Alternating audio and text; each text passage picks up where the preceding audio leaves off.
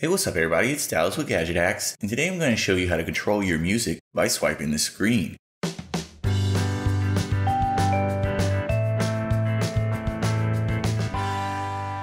Now, if you're anything like me, you rarely use the radio in your car because you got your phone hooked up to the stereo system. With online radio services like Spotify and Play Music, it's just so much better to use your smartphone instead of the stock head unit.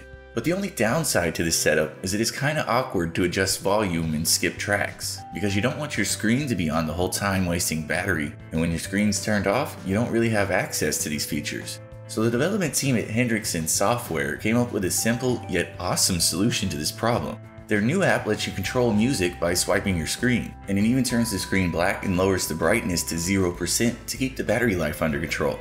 The app itself is called Audio Swipe, and it's available for free on the Google Play Store. So search it by name to get it installed, or you can use the link in my full tutorial.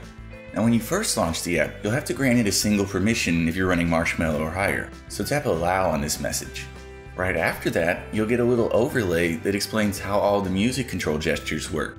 Basically, you swipe left or right to change tracks, up or down to change volume, and you can tap the screen anywhere to play or pause. So once you've got the gist of things, go ahead and tap the screen to dismiss that little overlay. Now from here, you've got a couple of options. You can either use Audio Swipe as your new music player, and of course you'll get all these features. But if you prefer sticking with your current music player app, tap the music icon in the top right corner, then select Control Media Player. From here, just select your regular music app from the list, then you'll be all set to go. From now on, you can continue playing music just like you normally would, so start a playlist in your regular music app.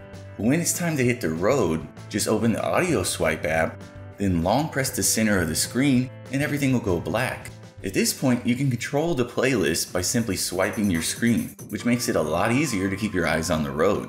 Then, when you're ready to exit the app, just long press the screen again and everything will go back to normal.